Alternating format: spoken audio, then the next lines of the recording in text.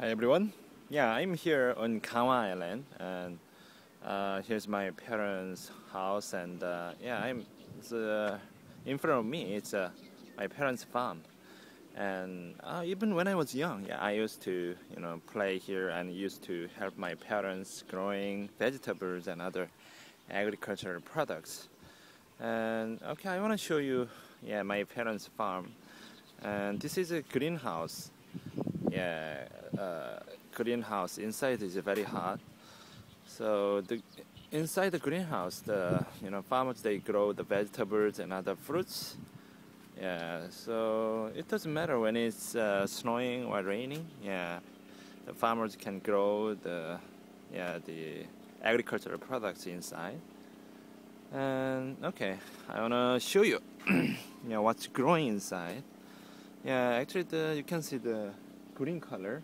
Yeah, these are the young, the red pepper, right? It grows gradually, and then uh, after uh, certain days, yeah, the it'll have the red pepper, the red uh, red color, red pepper, and then later, yeah, we can the pick the red pepper. Mm.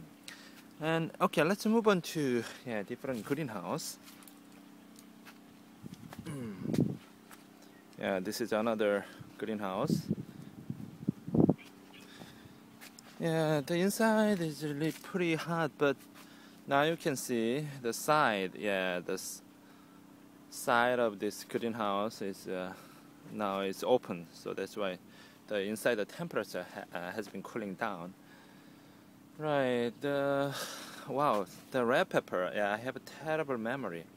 Yeah, when I was very young, uh, my sister and I used to help my parents yeah, to uh, pick the uh, pepper, red pepper, but usually on a hot, you know, hot day, hot summer day, and then, oh wow, yeah, we had too much sweat and uh, you know mosquito bites and wow, I think it was one of the toughest job that I ever have had as a farming work. Okay, so right, yeah, when you have a time, yeah, welcome, yeah, welcome uh, to visit our parents' farm.